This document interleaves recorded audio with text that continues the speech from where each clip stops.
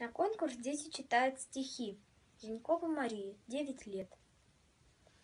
Бергольц Ольга Федоровна, Февральский дневник, отрывок из стихотворения. Был день как день, ко мне пришла подруга, не плача рассказала, что вчера единственного сохранила друга. И мы молчали с ней до утра. Какие же я могла найти слова?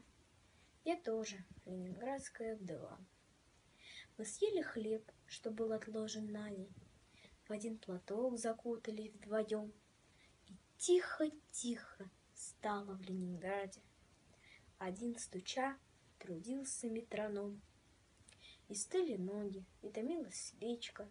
Вокруг ее слепого огонька Образовалось лунное колечко, Похожее на радугу слегка.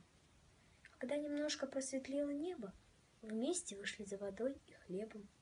И услыхались дальние канонады, Рыдающий, тяжелый, мерный гул. То армия рвала кольцо блокады, Вела огонь по нашему врагу.